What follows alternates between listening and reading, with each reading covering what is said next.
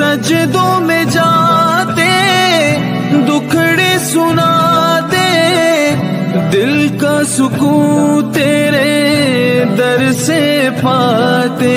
सुन ये सदा रे